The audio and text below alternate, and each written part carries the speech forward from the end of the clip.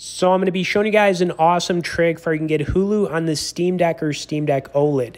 And to make this happen, you're first going to need to switch your deck into desktop mode. And to do that, you just want to hit the Steam button and then click power, and then you want to click desktop mode.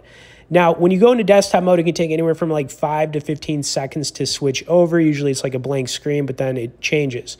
But once you're in desktop mode, you're going to want to open the browser. And typically, Mozilla comes pre-stock on the Steam Deck.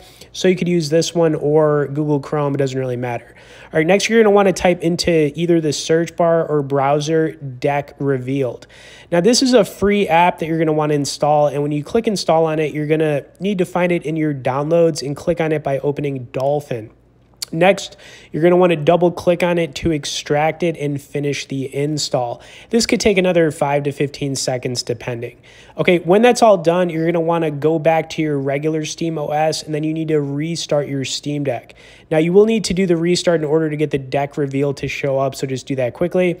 Okay, anyways, once you get to this step, you're going to see the option in your library where it's either going to say deck revealed or revealed. Okay, now when you click on it, you're gonna want to click play or open and click on apps.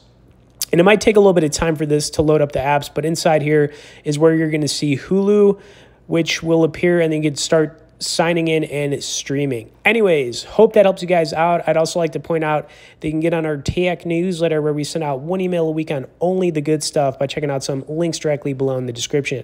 As always, thanks for watching this, guys, and we'll see y'all in the next video.